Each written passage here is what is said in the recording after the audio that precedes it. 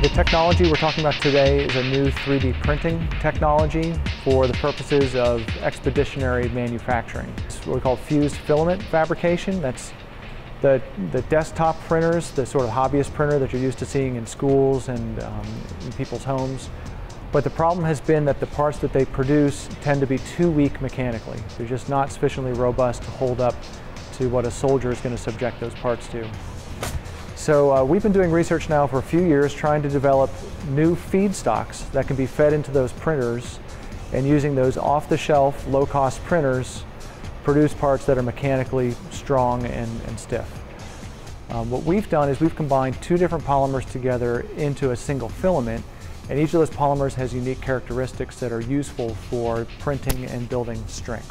What we do is we first create on a 3D printer this solid body here which is called a preform. If you look at this preform, you see there's a white part and a red part. The white part is a higher temperature polymer called polycarbonate. The red part is a lower temperature polymer called uh, ABS. Then we actually convert this back into filament. We use a thing here called a thermal draw tower that, that we built. Uh, this preform gets mounted in this feed head here. The feed head pushes the filament down at a very, very slow rate.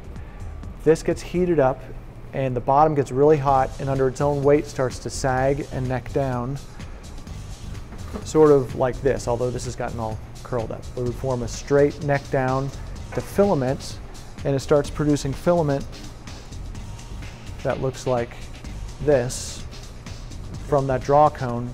That gets fed down through some diameter sensors, some tension sensors, there's a take-up reel, and at the bottom, once you get this process going, you can make a large spool of filament like this. This now becomes our new filament for 3D printing. Uh, I can feed this into any conventional desktop printer. It's got these two polymers in there and we print it at a temperature where the red stuff likes to print and that's the ABS. It prints a real nice part.